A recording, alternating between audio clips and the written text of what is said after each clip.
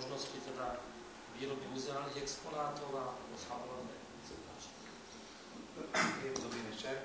E, ja by som sa sústredil možno teraz e, dneska skôr na predstavenie nášho Fablabu, lebo zajtra budeme mať dvakrát hodinový workshop, kde detálne potom prejdeme aj celý postup, akým spôsobom sa skenuje a pripravuje sa ten produkt, aby sa to mohlo vytlačiť, takže to dneska prebehne len veľmi stručne. FabLab vlastne bol otvorený pred mesiacom v Bratislave ako prvý v, na Slovensku. Vo svete je na základe tejto filozofie otvorených asi 300 dielní a aj každý rok sa dvojnásobuje počet tých dielní. Toto sú také 3D objekty, ktoré sú vyrobené v, dielniach typu FabLab toto srdiečko máme aj tu na, čiže to je vlastne také na pohľad, by bola veľmi zložité niečo, ale ako všetko, keď už vieme, ako to je, tak to je jednoduché, to sú také jednoduché výrobky. Toto je veľmi zaujímavý produkt, to navrhli architekti z Brna, to je vlastne tačie hniezdo, ktoré môžete nalepiť na sklo zvonka a cez dierku zvnútra môžete sledovať vtáčikov, prípadne tam môžete dať mobil a vyvíjať to na kolegovia z Progress Baru, že zo starého mobilu, vtáčik, tak vám pošle Twitter obrázok, čo tu je to vtáčik. Teraz vyvíja. Toto je iná verzia, to je krmitko. Také sme teraz nainštalovali aj Múzeu špeciálneho školstva v Levoči. Toto sú akože nejaké exponáty nejaké výstavy. Tento obrázok vlastne tak stručne znázorňuje, že keď urobíme nejaký 3D objekt, či už navrhneme nejaký 3D modelovacím programom, alebo ho naskenujeme skenom, tak musíme ho previesť na tzv. trojuholníky a potom vlastne výstupom je nejaký súbor STR, kde, kde sú súradníci, to je textový súbor, kde sú súradníci týchto trojuholníkov. Tak to vyzerá nejak v počítači. Má už ako tlačíme, sme robili workshop. tu sme robili aj malými deťmi od tých 10 rokov. Je taká hra Minecraft. Minecraft kde deti e, virtuálne z kociek stavajú vlastne nejaké objekty. Dokonca je to prepojené cez sieť, čiže deti z celého sveta, vlastne do rôznych kútov sveta môžu v tom virtuálnom priestore spolupracovať. A v rámci toho letného tábora vlastne potom sme aj vytlačili niektoré tie objekty. FabLab je vlastne trh jednej osoby. Fabrika pre trh jednej osoby, kde si každý môže vyrobiť seba to, čo napadne. Pro je také staré slovo crowdfundingových trhov, ale už som minulé neviem kolegami vysvetlil, že čo to asi je, ale v podstate ide o to, že kvázi niečo ako akciová spoločnosť virtuálna, čiže vy keď máte nápad, vyložíte na internet a poviete, že k tomu, aby ste ten nápad dotiahli do realizácie, potrebujete, neviem, tisíc dolárov, a ľudia môžu vám zaplatiť, že pošlú vám jedno, jeden dolár, za to dostanú nejakú, nejakú nálepku alebo pero, alebo môžu poslať uh, ako cenu toho výrobku, ktorý bude možno 3 mesiace. Aj na to, na toto termínu, keď sa to pozbierate peniaze, tak máte, môžete to vyrobiť. Má to samozrejme riziko, lebo uh, môže sa stať, že tie peniaze tam dáte a nič to nebude. No, čiže, ale ja keď som to prirovnal s forme skôr firmy spoločnosti bez záruky. Uh, nápad Fablavu vznikol najmä aj tých, tomu sa dostanem bližšie neskôr. Čiže je to priestor pre aj mladých uh, vynálezcov, umožňuje nájsť ľudí, posunúť ich nápad do funkčného prototypu. Uh, keď uh, tá skratka vytváže Application Laboratory, FabLab, ale tí, čo to potom prevádzkovali, tak dali tomu aj iný názov ako báječné laboratória. To je veľmi stručná história, ja by som začal možno nie od Adama, ale od sa digitálnej technológie, nejaký pán Šaron v roku 1937 napísal diplomu prácu, že analogové veci môžeme digitálne spracovať. Rok na to 38 už to aplikovali prvé digitálne telefónne výstrední. V roku 50 už máme sálové počítače, a teraz toto je veľmi zaujímavé z hľadiska FabLabu, lebo v roku 52 spojili počítač so sústruhom a vznikol vlastne počítačom riadený sústruh, no, to je CNC Numerical Control Computer Numerical Control, tuším taká nejaká skratka. V 60. vznikol mini počítač, je tam autor, o 7 sekundách, a to sa mi posunulo, nevadí, to už je mikropočítač 80-80, zaujímavé veľmi pre nás, tento pán v roku 80 dostrojil prvú tlačiareň 3D, ktorá vlastne vyzerala takto a dnešné tie najlasnejšie tlačiarne, ktorú aj my máme vo Fablabe, sú presne na tejto istej technológii. Samozrejme potom vznikli aj iné technológie, to o tom vám povie kolega z Martin Nemček z Baru. Osobný počítač okolo rok neskôr. A tento pán je veľmi zaujímavý z hľadiska Fablabu. Na MIT Bostone, to je Massachusetts Institute of Technology, mali katedru sociológie a katedru technológie a oni, tieto dve katedry sa rozhodli urobiť experiment, že dáme študentom k dispozícii najmodernejšie stroje digitálnej výroby a budeme sa pozerať, čo, čo tí ľudia budú robiť. Čiže to bol taký experiment a výsledkom toho experimentu bolo, že vlastne e, tie detská začali si vyrábať pre seba veci, ktoré sa nedali kde kúpiť. A vymysleli si vyrobiť, či tam Nikolaj ten nápad, tieto iné osoby. V roku 2003 urobili už dielňu na základe tej filozofie, kde tie stroje boli prístupné pre študentov a súčasne 2003 aj verejne dostupne vznikla dielňa verejne dostupná. V 2005 už v tých dielňach vyrobili prvé hobby tlačiarne, samozrejme tie profi tlačiarne vznikali nie. A Nikolaj časopis Makerspace, to je niečo ako u nás je Bielej Putil alebo taký nejaký časopis, už si majú. Potom na tie Fabla vznikol skôr na východnom pobreží Ameriky, na západnom pobreží tam vlastne vznikol skôr ako komerčné, to znamená, že nejaký majiteľ mal veľa peňazí, si prenajal halu, nakúpil tam najmodernejšie stroje a prenajímal ich. Čiže mohli ste si prenajať stroj na týždeň, na mesiac, na hodinu a vyrobiť si ako výrobky, čiže to je skôr komerčné, kdežto Fab je to skôr pre širokú verejnosť.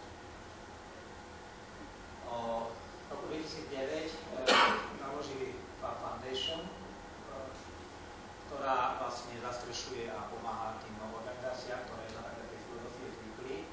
A v roku 2012 e, vlastne vydali tzv. chartu Fab ktorá hovorí o tom, že tých Fab Labov, hoci kto môže čo spraviť, ale to, čo spraví, musí zverejniť vlastne návod, aby hoci kde inde vo svete to mohli ľudia urobiť. Čiže je to vlastne open source hardware. A pokiaľ ale to chce autorsky chrániť, alebo je to na podnikanie, tak musí ju zaplatiť aj nájom. Ale tí, čo to potrebujú urobiť pre osobnú spotrebu alebo pre vzdelanie, tak majú, prístup, majú prioritu, prednosť pri pridelení strojového času e, toho zariadenia a tí platia len za materiál. Čiže to je princíp tej filozofie a na tej filozofie potom každý, v každej krajine podľa svojich lokálnych možností vytvárajú tieto dielne. To je veľmi zaujímavý článok od autora tej myšlienky, kde vlastne aj načrtá budúcnosť tej technológie, takže keď budete mať času, vám dopočujem tento článok pozrieť. To je taká mapka vlastne e, tých dielní vo svete. A e, teraz v auguste bolo 10. stretnutie v Barcelone, máte tam bolo osobne, takže keby ste chceli nejaké otázky konkrétne, tak môžete sa opýtať. Tu nám možno dám Matejovi slovo. Ďakujem. Tak toto na obrázku bol napríklad vyrobený bicykel, ktorý bol konkrétne z dreva čisto bambusovi, ale dalo sa ňom povoziť, čo bolo tiež super a jeho vlastne nákresy boli tiež dostupné, ktokoľvek si ho mohol vyrobiť. Potom v ďalšom obrázku mal byť eh, v podstate invalidný vozík, ktorý bol tiež rovnako dostupný a jednotlivé nákresy a postup, ako si ho postavať vo vlastnej dielni, bol tiež akože otvorený a dostupný, respektíve zdrojový kód inštrukcie mohol ktokoľvek použiť pre svoje využitie. Toto bolo ďalej quadrocoptera, ktorý vlastne stačil človeku iba mobilný telefón ako ten samotný mozog a stačilo si dokúpiť nejaké motorčeky už mohol mať nejakého použiteľnú kvadku, ktorú, ktorú mohol snímať niečo z perspektívy. Toto bolo asi takým najväčším ťahákom celého toho festivalu, ktoré bolo open sourceové auto. Bolo to viac menej sponzorované aj spoločnosťou HP, ale viac menej bol tam viac menej to auto poskladané do aktuálneho progresu, v akom sú. A to boli zatiaľ len tie samotné kolesa a základná kostra toho auta a bolo plne akože pojazdné, len chýbalo ešte také tie pohodná jednotka ako taká, ale ľudia to tam obdivovali. A toto bolo viac menej uh, uh, z afrického Fablabu, uh, poskladaná tlačiareň, ktorá vlastne recyklovala ten elektronický odpad, ktorý sa tam vyhadzujú u nich na smetiskách. Takže vlastne použili starovú skrinku z počítača, ktorú pretransformovali na tlačiareň. Ináč tieto produkty vlastne boli, že z rôznych fablabov posielali tam e, ako projekty a bolo tam súťaž, čiže to boli výťazné.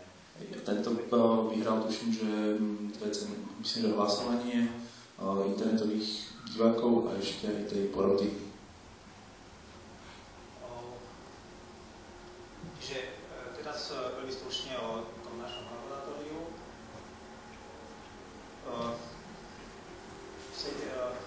v Bratislave bolo slávnostné otvorenie, kde e, časný minister školstva to otvára v spolupráci s francúzským veľvyslancom. A e, takéto zariadenia vlastne máme v dispozícii.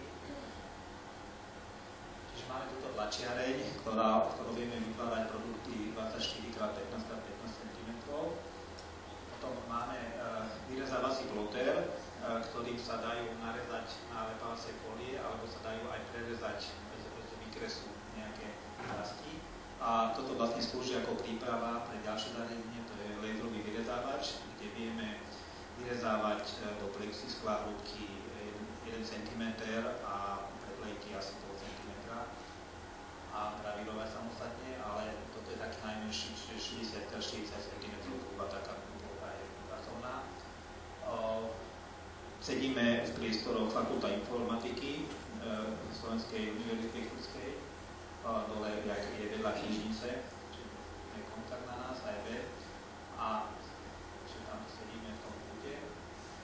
No a no, vlastne partnerom, ktorí založili ten FAB vytvorili je Francúzsky inštitút s francúzskou ambasádou, Fakulta informatiky STU, e, hlavne mesto Bratislava, potom pracovisko CVTI, kde som ja zamestnaný, patruje pod ministerstvo školstva. A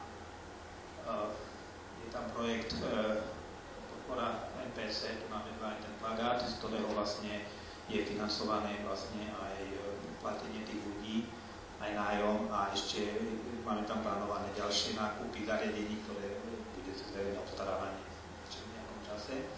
No a keďže hlavným hrdinom dnešného večera je Tomáš Vatula, tak on sa zamestnal v takejto firme, ktorá nás v otvorení vyhľadala a zaoberajú sa síce národnou špeciálnou nábytku, ale sú tam ľudia, ktorí si vyvinuli špeciálnu technológiu skenovania a práve keď nás pán Malúka oslovil, aby sme e, tu na niečo urobili nejaký workshop aj so skenovaním, ktorý sme ešte skenovanie nemali k dispozícii, ale medzi tým e, časom sme sa stretli s touto firmou, ktorá vlastne uh, zajtra príde kolega v rámci toho workshopu, preberieme, čiže spôsobov skenovania je veľmi veľa, ale uh, oni používajú tzv. Fotogrametické skenovanie, to je vlastne používa sa na letecké snímkovanie, čiže s foťakom preletí lietadlo a keď máme fotoaparáty, tak s tieňou a z ľudí uhlov vedia poskladať vlastne ako nejaký 3D model. A títo chlapci e, vyvinuli technológiu, kde majú kalibrované ako fotoaparáty 20 megapixelovým rozlišením, s kalibrovaným e, objektívom a majú to, vedia to zavesiť aj na ultralight a vedia odletieť napríklad odleteli Veskovský hrad a tu nám máme vedľa aj vytlačený maličkom. Čiže uh, sú ciele, postupy a výsledný ten model. Čiže to, toto potom vlastne nebudem teraz veľmi sa s tým držiavať, lebo to bude obsahom vlastne zajtrajšieho workshopu, kde vlastne jedna várka bude do obeda a druhá po obede, ale tu by som sa možno sústredil na ten, e, to je taký, e, taký názorný príklad, že keď máme nejaký objekt, tak tento objekt vlastne odfotíme z rôznych polôch, čiže väčšinou kruh, ale úrovniach. A potom z týchto fotiek to potom vedia vytvoriť takýto model trojrozmerný. A konkrétne toto je naskenovaný Veckovský hrad, lebo chceli si vyskúšať tú technológiu a tam je vodné parkovisko aj štartovanie, tak to obleteli Veckovský hrad a vytvorili takýto no, model. Ináč oni robia jednak ku jednej, takže keď nám dodali údaje toho Veskovského hradu, aby sme vytlačili, tak náš počítač z toho akože trošku 80 miliónov trojuholníkov. Takže na tretí pokus nám urobili potom, urobili vlastne len tento výrez a tento máme vytlačený, si môžete aj pozrieť, tlačilo sa to asi 5-6 hodín. Čiže toto je firma 5S, kde sa Tomáš e, zamestnal a vlastne Matúš, Matúš e, zamestnal a ešte keď už hovorím o rozprávkach, tak Matúš e, prišiel za mnou. Ja som ho našiel v Múzeu špeciálneho školstva, lebo tam mal jeden model uh, radnice a to múzeum patrí k našom, uh, našom ústavu. A tiež tam sme sa pozerali, je to múzeum špeciálne školstva, kde sa nemôže chytať exponátov, tak sme špekulovali, že by sme mohli niečo oskenovať, aby tam deti mohli to aj chytiť. No a on tam mal tú maketu, tak ja som, že jo, že to určite je v počítači, tak tak som sa dostal na Matúša. A keď sme otvárali Fabla, ten dva týždne pred som prošiel, že on tu v Bratislave hľadá prácu a medzičasom nemá čo robiť, či môže pomáhať.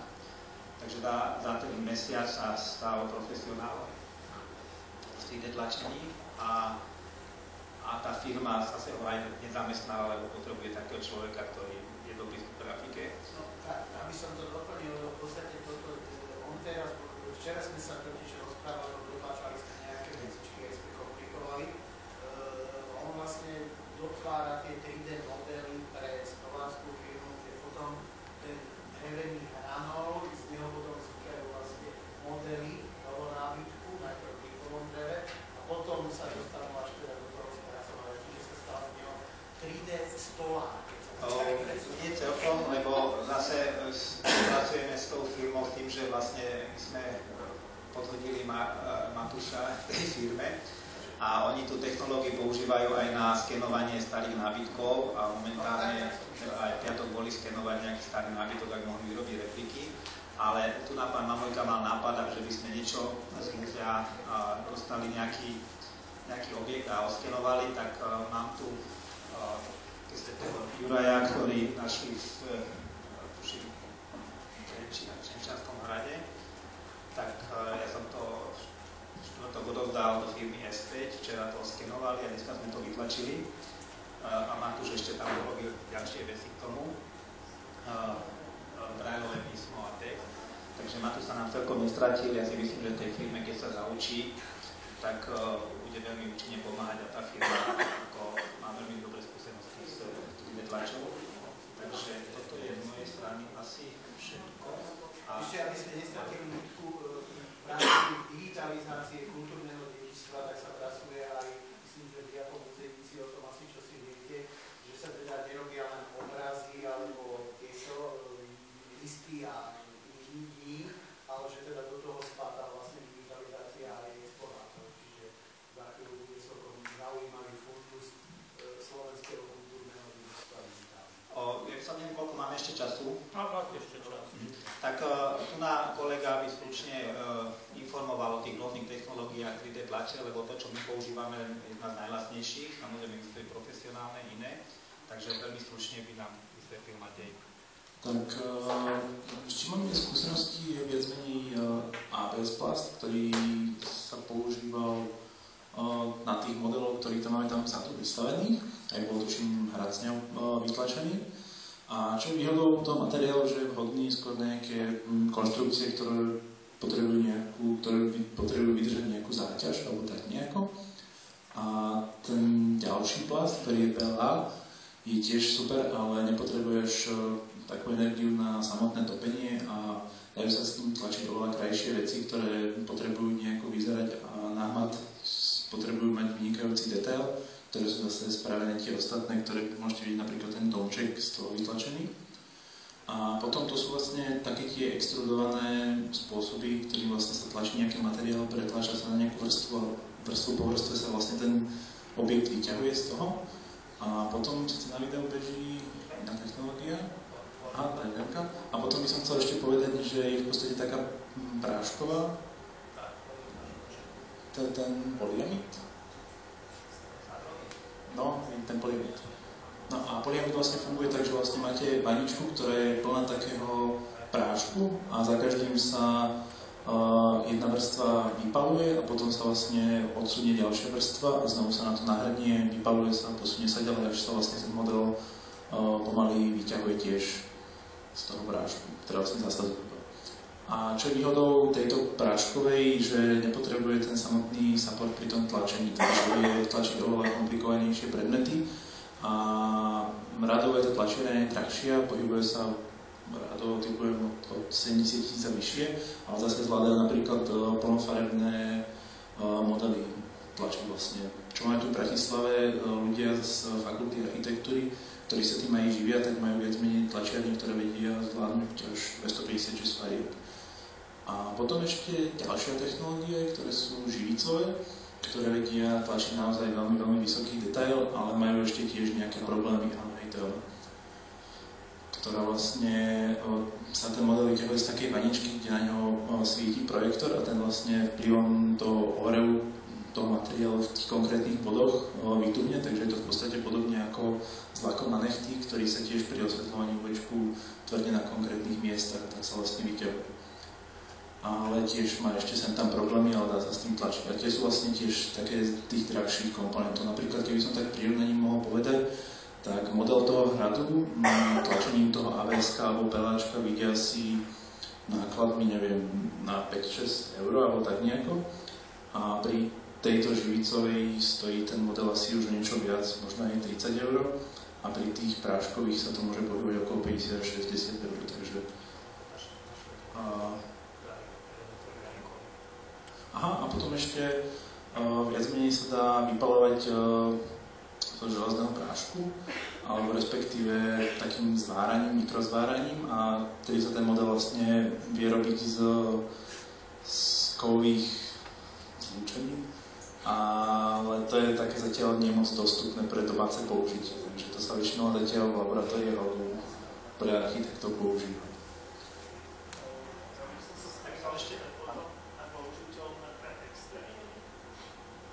Uh, áno, áno. No a ešte som spomínal ten Fab Foundation, tam je vlastne mapa tých uh, stránok, vo svete a dá sa tam nazumovať. Vidíme, že v Európe je 243 súčasne a tam to vidíme, že je e, najvyššie. Na najvyššie objední sú aj až dva a jeden je skôr taký zameraný na služby a druhý je taký hackerspace. Jedno je v podstate Happylab a druhý je... Nie, myslím, že druhý je iný, nie je to Metalab.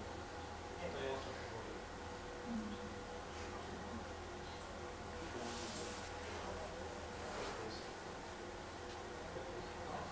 to je práve, že Makerspace, to majú asi ten vlastný space, to nie je to.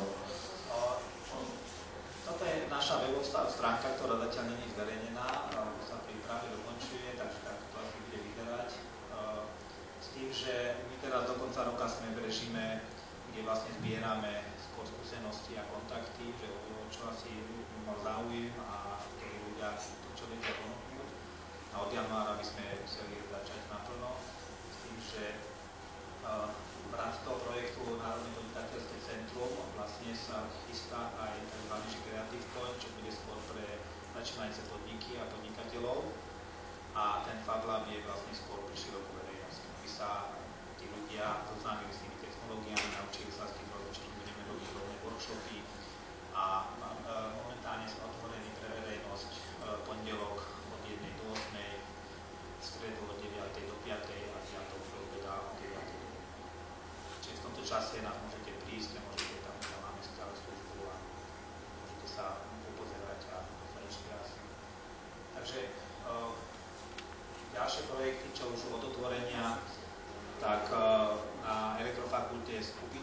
ktorí o, robia súťaže robotov, tak tam sme sa už dohodli spoluprácu, že vyrobíme nejaké súčiastky mechanické, oni ho tam doplňa motormi elektronikou.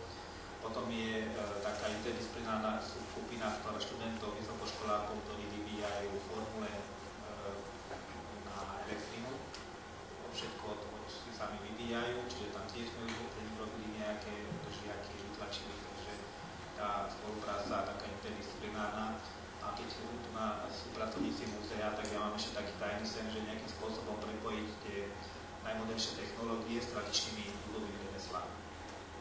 Je to síce uh, je to pre niekoho ťažko predstaviteľné, ale existuje v Rakúsku taká skupina hotelov, ktorá sa tým zaoberá. Čiže ja si viem predstaviť, lebo počítače veľa na nás urobia, ale či už sme stávali v progres bare e, stlačiare zastavenice, treba tam určitú zručnosť. A my sme robili výstavy dve v Poluse pred rokom aj pred, a pred veľkou nocou mám jednu známu, ktorá robí drotikárstvo, tak sme tam kombinovali, lebo vlastne drotikárstvo vyžaduje zručnosť, výroba elektronických zariadení tiež vyžaduje zručnosť, tak ja si myslím, že má aj priestor na zachovanie aj takých nejakých tradícií. A dokonca na minule na francúzskom inštitúte bola prednáška chlapíka, ktorý je z Francúzska a oni mali vo Vietname tiež nejaký Fabla, kde uh, nejaké výrobky, ktoré vyrábajú tradičnými, uh, neviem konkrétne čo išlo, ale tiež vlastne kombinovali, že vo Fablave, čiže uh, pokiaľ viete niekoho, kto tie tradičné remeslá by mal záujem kombinovať, uh, minimálne poďme sa dá urobiť, že uh, ten remeselník vyrobí jedinečný kus a možno s tým tlačením sa dá urobiť kópia predstaviť tým konkrétnejšie, ale určite, keď sa bude stretnúť, tak niečo napadne. Takže z mojej strany asi e, bolo všetko z našej strany, neviem, keď máte otázky, ale zajtra máme teda workshop od 9. 3 hodiny, takže tam uh, donesieme aj 3D tlačiare, nebudeme tlačiť, či už uh, tento R, ktorý sme skenovali, alebo niečo. Toto, toto trvalo 2 hodiny tlač uh, v, v takom strednom rozlišení a mali sme aj zmenšené, ale pre nevidiacich tam už sa stráca potom tá citlivosť. Oni tam to tlačí rýchlejšie. Takže ďakujem, že taká otázka. Zajtra bude ten workshop, ale môžete sa pýtať práve už dnes. Prípadne, keby ste mali nejaký špeciálny záujem, že čo mám na zajtra pripraviť, tak... Nech sa páči. Ja by som ma to mohla, že ma to veľmi zaujalo, že hovoríte o tom spojení tých nových technológií s tradičnou kultúrou, že by som mohla prípadne ponúknuť, určite aj viete, že v rámci ministerstva kultúry ako jeho príspevková organizácia funguje v stredu umeleckej výroby, ktorý v podstate je garantom všetkých tých no, tradičných remesiel a takýchto vecí. A zároveň máme také centrum tradičnej kultúry, pri zase Slovenskom ľudovom umeleckom súbore, kde sú tiež len v rámci takého networkovania sú aj tieto možnosti otvorené, ako sa prepojiť teda s ľuďmi, ktorí to naozaj majú pod kontrolou a profesionálne zvládnuté, čo sa týka tradičnej ľudovej kultúry. Takže tam sa obrátiť. Ďakujem. Ešte nejaké otázky alebo komentáre? Tak si to nechám na zajtra na workshopy. Ďakujem pekne.